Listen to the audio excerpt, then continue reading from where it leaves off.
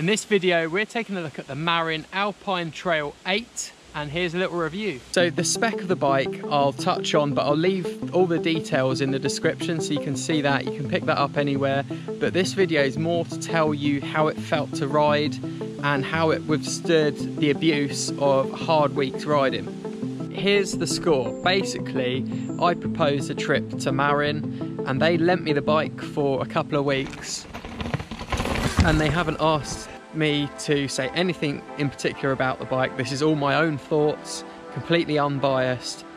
But I've ridden the bike for a week. I feel like I put it through its paces and it does feel genuinely good. I definitely think if you're look if you're in the market for a do-it-all enduro bike at around the three grand mark, this should definitely be on your radar because I feel like you're getting a lot more for your money with this bike than others at the price point. What's it good for? It's a great all-rounder. It can ride big bike park laps or it can go and ride trail centre. What else do you want? Let's start with the wheel size. So it's a 29er. We've got 160 travel on the front, 150 on the rear. On the back of the frame it says it's made for fun so it's uh, one of Marin's kind of do-it-all bikes, a bit of an enduro vibe, but mainly predominantly made for fun. So would, if I'm thinking of fun, I'm thinking of roosting corners and doing some jumps and styling it up, that kind of thing. And it did feel like it suited that that bill perfectly. Like that's what this bike's made for. So what did this bike what did this bike do well? It was it's extremely easy to ride and quite a play has a playful feel to it. So you can pick up the front wheel when you need to, get a little skid out, a little scandy round. You can it's easy to maneuver in the air, like throw out a bit of a whip and it feels feels a lot easier to do that on than my other bike, which is a Giant Reign. It's one of those bikes that you jump on and just feel comfortable immediately. Um, as soon as I put a leg over this bike, it just felt comfortable straight away. It's a playful bike, easy to maneuver. And saying that, it's uh, it's got 20, it's a 29er, so the wheels are big, and one of the first 29ers I've really ridden, and it didn't feel like a 29er whatsoever. Um, obviously you've got that roll, but it still turned really well and felt nimble. I feel like the the frames are on the kind of the small side of sizing. So I'm a medium and it felt like a sort of a small medium. So you might want to consider looking to go up a frame size potentially.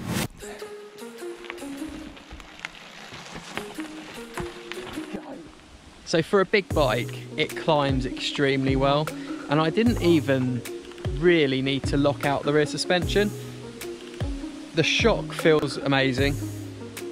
It's really sort of, um, this shock is really firm at the top. And then when you, then when you sort of push into the suspension, it does, it sort of kind of breaks through. So when you are pedaling and you're going uphill, there's no sort of trail bob.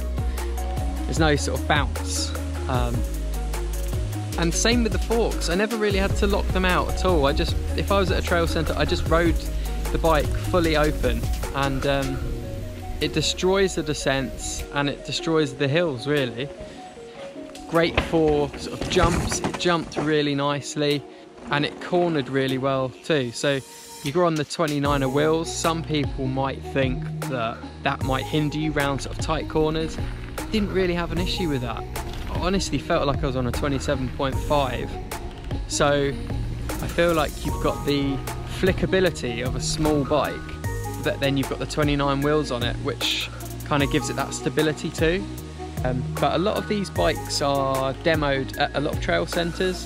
I found there's a lot of places that stock these bikes as hire bikes so you might be able to get a test ride on one if you are considering. So we've got the TRP Slate 4 brakes and to be honest I'd like to see a bit of an improvement from there. There wasn't any real consistency in them. I think they were they kind of changed how they, they the biting point changed quite regularly once they'd bedded in. So I think I like the feel of the brake and how sort of progressive it is, but I didn't like how it kept changing all the time. Tad nervous dropping into this. This is by far the most technical riding I've tackled on the Marin so far. Here we go. Can't make my mind up about these Vee tyres. I just can't make my mind up. The jury's out on that. Um, I've had a week on them and haven't had any crashes, but and I have pushed the corners pretty hard, but I just don't know where I stand with them.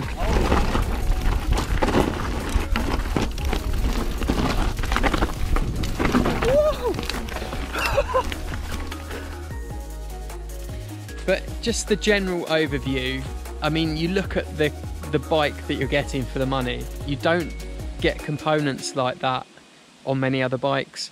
Coming with Fox suspension front and back and just it just set that sets the bike in the right direction. It feels planted when you're out there on the trails.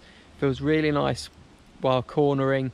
I think what the issue can be with some 29ers is you feel like you're riding on top of them because of the wheels being so big and stuff like that whereas that was not an issue for that I felt well and truly part of the bike it's a good it's a big mountain bike which can take on almost any trail. Um, I did find the limit of the bike and that was on a, a really steep run called uh, Collins Corners at Revolution Bike Park. Ridiculously steep and it felt a tad out of its depth at that point. But I mean, the average rider isn't stumbling across trails like that very often. But it's a very capable bike on a lot of trails. Um, so I've just had another thought whilst uh, plodding on this bike loves park riding, sort of like free ride kind of style. So big jumps and tabletops, all that kind of thing, and like big corners. I feel like it's that's the bike in its element. If you've got any other questions about this bike, uh, leave them in the comments or reach out to me over on Instagram with a DM. Oh.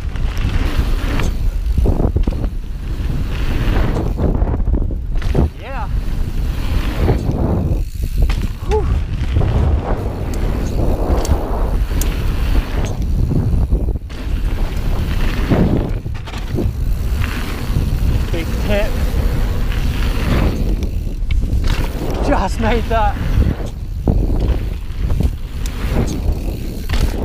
Oh, here we go. Oh, it's cased it. Woo!